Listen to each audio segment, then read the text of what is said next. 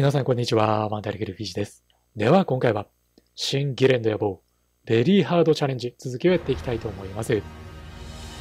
一年戦争のギレン総帥でベリーハードを攻略していこうというチャレンジ企画になるんですけども、ここにですね、マフティをニューガンダムに乗せて歴史介入させています。これでギリギリの難易度ですね。現在の戦況ですね、簡単におさらいしておきたいと思います。まず宇宙なんですけども、押されに押されていた地球上空での攻防戦。これ、押し返しつつありというところで、現在この制空権をね、えー、奪還しつつありというところになります。部隊の方は今ルナ2の方に一部部隊を派遣していまして、できればルナ2を包囲したいと思っています。ここにはビグザムを投入して、ルナ2から発信してくる連邦艦隊、これを撃滅してもらいたいと思います。実はビグザムもう1機生産してまして、ここにはアイナを載せています。で、このアイナの乗ったビグザムはですね、このまま補給ポイント、この3を経由して、できれば補給ポイント2まで確保してもらいたいというふうに思っています。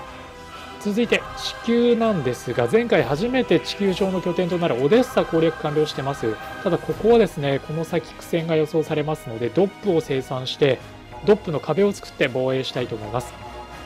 では時間を進めていきましょう。この後はですね第2次地球降下作戦として北米攻略作戦が提案されると思いますので北米攻略作戦が発動できる状態になり次第ですね再び部隊を集結させて北米攻略のために作戦を発動していきたいと思います。でエルメスは今数作っているところなので数が揃い次第ですね。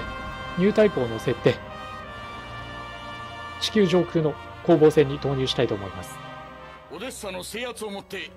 第一次降下作戦を完了します。第二次降下作戦提案来ましたね。第二次降下作戦の実施が可能です。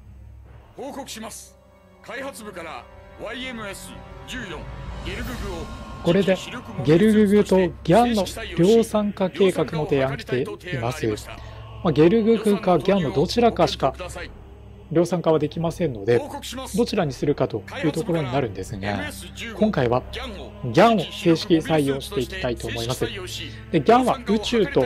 地球上、まあ主にオデッサになりますけども、これ両方にね、生産して配備を進めていきたいと思います。では早速ですね、忘れないうちに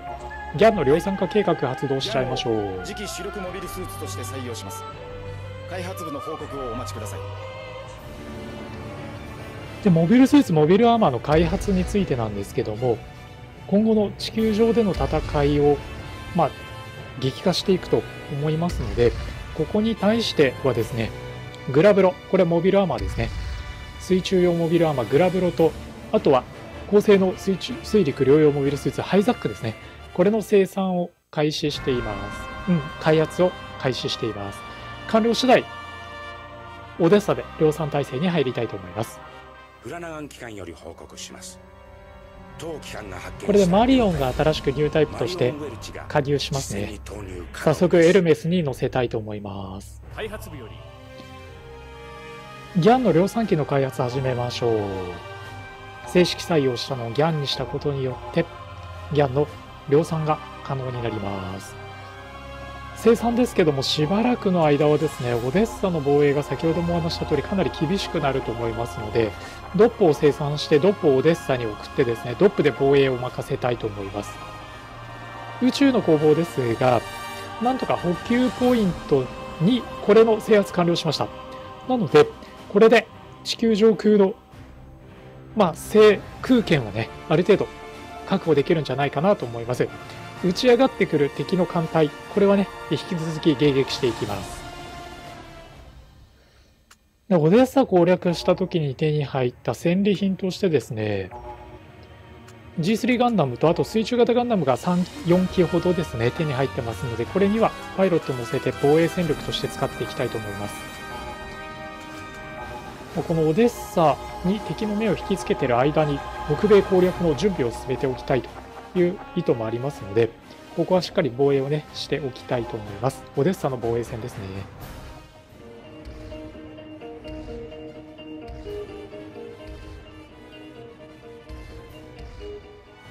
えぐいな。丸裸にされましたね、1ターンで。オデッサのドップの壁が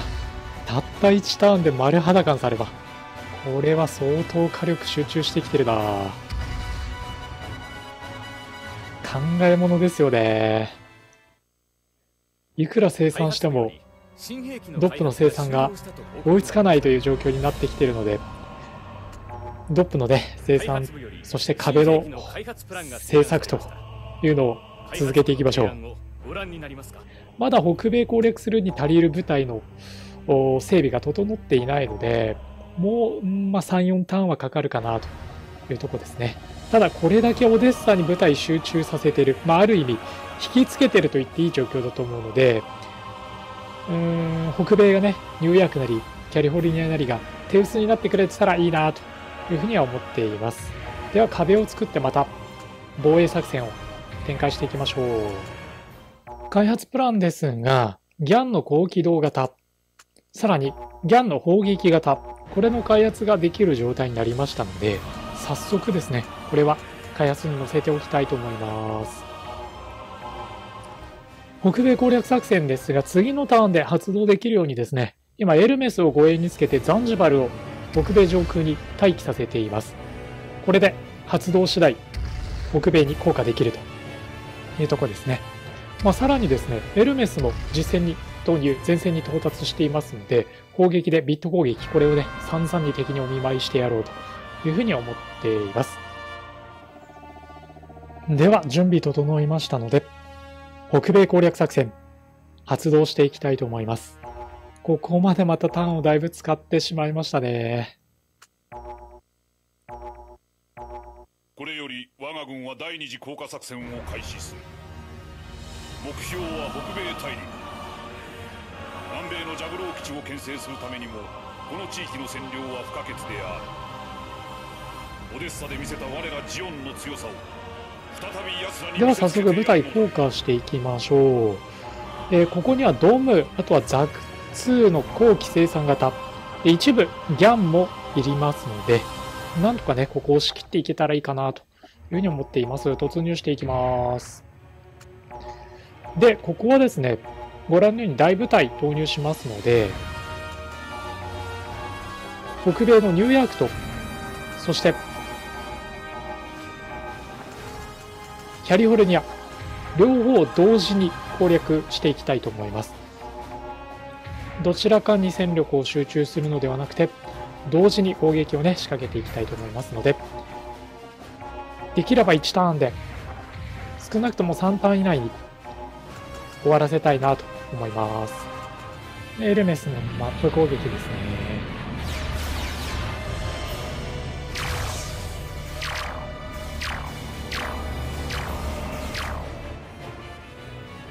うんデンドロビームが出てる。まあ、あの、連邦軍は量産タイプのモビルスーツをもうすでにジムカス、ジムカスタムに変わってきてるっていう状況もあるので、まあ、ある程度予想しておかなくてはいけなかったと思うんですけども、デンドロビームが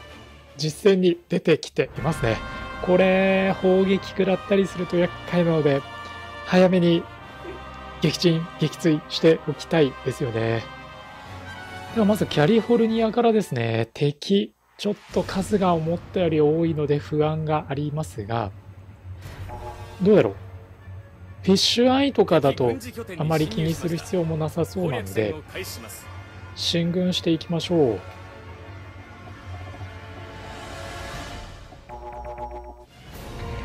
もうここもスピード重視速さをね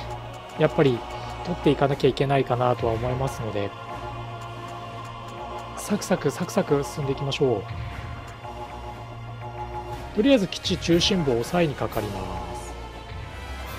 続いてニューヨークですね。ニューヨークも思ったより敵の数多いな。キャリフォルニアは1ターンでの攻略はやっぱり無理でしたので、2ターン目にかけたいと思います。やっぱり、あのー、敵の数がね、ちょっとずつ増えてきているっていうところもありますし、何より敵のモビルスーツの質が高くなってきていましたね。キャリフォルニアにはパワードジムとかがですねあの後増強されて出てきてしまってあと一歩っていうところでね攻略完了とならなかったのでなんとかこのニューヤークだけでもですね1ターン攻略したいですよね。よしジム化吸いましたけどこれ撃破できたので次のターンで基地中心部制圧できそうです。なんとかニューヤークは1ターンで取れたかな。キャリフォルニアも次のターンで確実に取ってしまえば北米の攻略完了になりますね。モビルスーツの生産に少し費用を割いた関係でちょっと技術レベルの開発が遅れてきているのでそこの巻き返しっていうのもねちょっとやっていかなきゃいけないところにはなってきていますので技術レベルにもお金が割けるようにモビルスーツが撃破されないようにね節約をしっかりしていきたいと思います。開発ですが3連星専用のギャン。さらに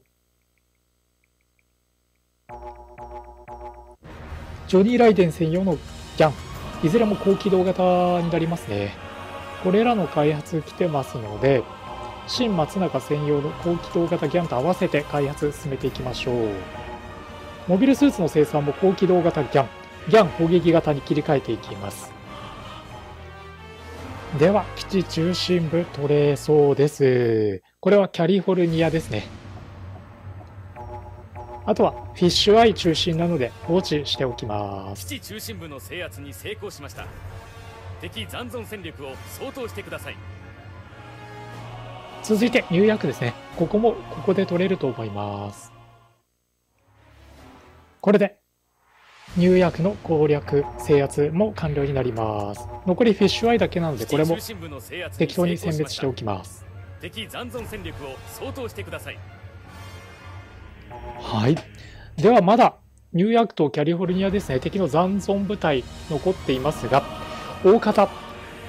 北米の攻略は完了したと言っていいと思いますので今回は一旦ここまでにさせていただいてですね、えー、次回またこの続きをプレイしていきたいと思いますなかなか順調にいってるように見えて苦戦してます。